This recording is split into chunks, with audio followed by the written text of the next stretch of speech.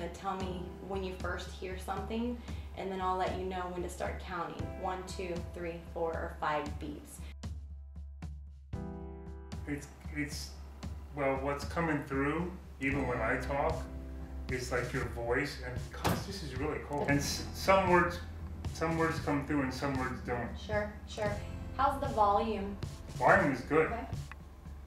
It's still pretty cool though. Good, good. I mean, because I couldn't hear anything before. So. Right, so walk around your house. You're gonna hear the fan, you're gonna hear the doorbell, the phone ring, At the same the time. pets.